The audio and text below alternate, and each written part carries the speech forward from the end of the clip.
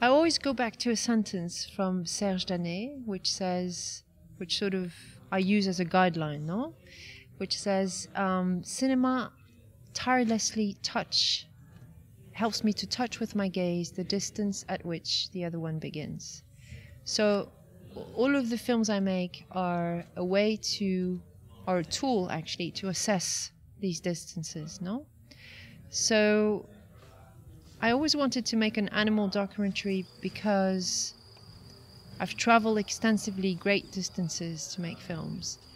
But with an animal documentary, what I wanted to do is try to understand the distance between us and animals somehow to be the greatest one because since the division between nature and culture which is the base of modernity we have made this distance probably the greatest one no so i wanted to assess that distance um, and work on this convention of representation which is very peculiar in wildlife films so right at the beginning of the film the only thing you hear is in fact, that sentence that you just said, which is, nature doesn't tell stories. Um, so immediately the film is set against these conventions, and these conventions are anthropomorphism, stage actions, um, you know, new techniques that sort of breaks the barrier between you and the animal.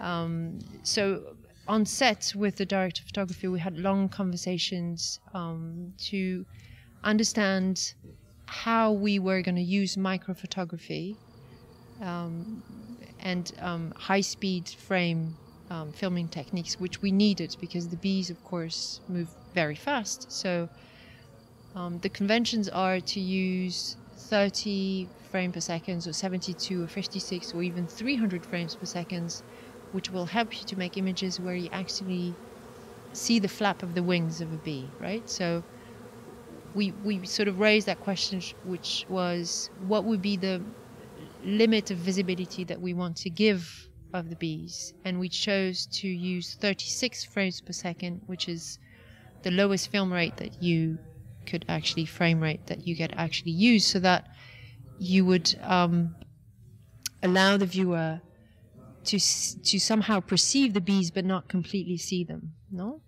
the, the other thing that we discussed on set, which um, is hugely part of the conventions of animal documentary, is how close should we bring the viewer um, to the animal? No, so what kind of lens should we use? And we decided on set to use um, to set a distance, which would be one meter twenty between us and the camera, and to film the moments where we're actually um, you know, measuring, literally measuring this distance between the crew and the camera, so that the film would sort of resemble, uh, you know, the, or imitate the, the, the, gaze of a flaneur, um, instead of trying to bring, you know, the eyes of the viewer so close to the insect, the bees, that in fact it puts the viewer in a position where he isn't normally, no? So that's why the film starts like that. So it's it's the only thing said and heard, um, and we stayed very factual on set with with the bees, which took us huge amounts of time because they, you know, bees are like filming kids. No, you you just can't make them do exactly what you want them to do. So and so the film is really about the, that distance between the crew, which was part of the film. If we needed to film you know, the distance between us and the bees. And in fact, the film is about exactly what is in between us and the bees, um, so that it would be more realistic and more comprehensive. No, I, I think so. We were very lucky enough that the bees swarmed out of the beehive, went to the nearest tree, and then we waited for them to swarm out and to disappear into the forest.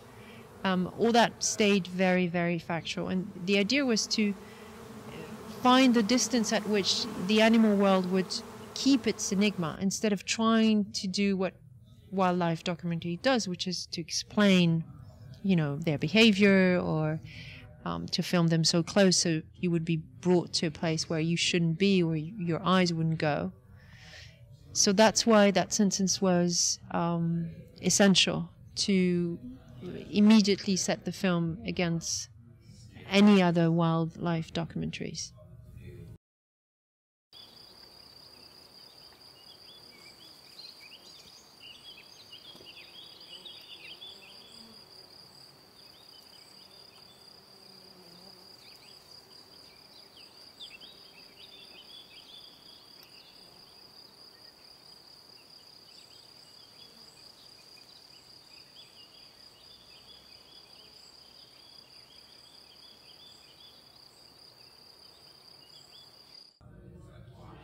What I'm really looking for is trying to to invent like a positive regime of images, where an image is not only built through and for the information it carries, but it also absorbs everything that is sort of out of frame, no?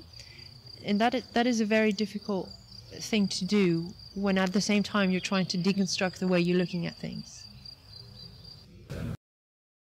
I think the only thing that or rather, many the many things that anthropology has taught me is first um, to structure my way of thinking, of course, but more so, it sort of taught me that I could invent um, like methods of, um, I would say, investigations. No, so I would I would try to to invent my own way to actually try to break the standards and try to, on my own way, to try to find and understand why I'm looking at things this way, how I could approach something in a different way. So that's what my anthropology studies have taught me. And effectively, I think that sometimes, sometimes I like to summarize my work, but maybe it doesn't fall always in the same pocket as anthropology of images. No, we're trying to sort of understand why, how, and why certain images are made, and how they are the vehicle. They are vehicle to a cultural frame. I'd def- definitely like to keep on doing animal documentary. Yes. Um, I think Apicula was also a p- peculiar moment because I've always had the project to do this film, but I was looking for a director of photography for a long time who could do this with me, who wasn't somebody who was working with the BBC, and and um, so it took me years actually to find someone. And once I had found someone, it, it we he you know asked me to come to Austria because he had his own beekeeper. Like I, I, had found a director of photography who was also very passionate about bees. So that sort of helped, of course, the film a lot. But I've been looking for somebody to do this film for about four or five years so it was a long stretch. So other film documentaries, yes, definitely. Um, I have in mind a, feature film about. Um, it's not exactly an animal documentary. It's more of um, a fiction film, and the story is about um, a parrot. It's actually a real story. It's about a parrot who'd witnessed a murder and who's then taken into trial. Um, it's it's it's a story that happened in the 60s in America. It actually there was a B movie that was created on on, on after you know this this story had happened, and it's a very interesting story because animals in Middle Ages used to have rights, which they don't have anymore now. Um, so within the frame of this modern time, to think that an animal could be taken to trial, even more so a parrot because he's the only one animal has, you know, the ability of speech, I thought it was a very good subject that I want to, that I, will be working in in the next few years. I'm already working on another feature. So that one is a, is kind of like the next step. But yes, um, definitely it's a subject. I'm very intrigued in this, in our relationship to animals and how we have culturally kind of push them back. Like we are definitely separated from what we call nature as opposed to culture. Um, and I'm very interested in that because I don't think there's that much of a distance, really, in fact.